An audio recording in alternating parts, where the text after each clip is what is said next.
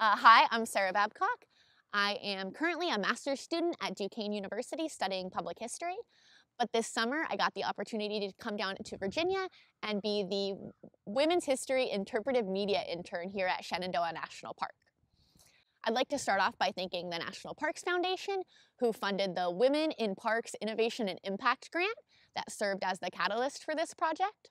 Their support allowed us to amplify the histories of women who lived and worked in this part of the Blue Ridge before and after Shenandoah became a park.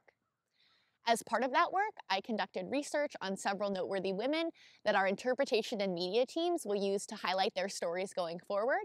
In addition to the research, I also conducted a number of history-focused programs, including a walking tour of Skyland, which is a resort that predates the park by about 40 years. I also hosted an open house at Massanutten Lodge, which is our historic house museum at Skyland. One really exciting thing about Shenandoah is that when you start to study the history of the park, uh, it becomes pretty evident how often women played a really vital role in its creation. One example, of course, is that Addie Pollock, who was a cabin owner at Skyland, was the only woman in a group of about 150 people that went to lobby in Washington for Shenandoah to be picked as a national park. There were a number of women who worked as the managers of the Lewis Mountain Campground and Restaurant. Um, that, of course, was the segregated space for non-white visitors to eat and stay and picnic. Obviously, Lou Henry Hoover has a footprint here in Shenandoah.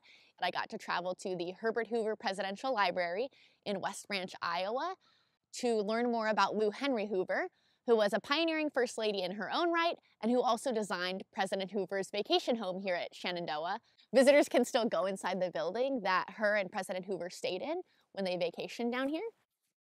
So I guess my takeaway from this project would be that Every place has a very unique, complicated history, and if you look hard enough, you'll find all types of history in those stories. Shenandoah National Park is just one example of a place with several overlapping histories that come together to create a really complicated story, and I'm really, really honored that I got to be a part of telling that story this summer.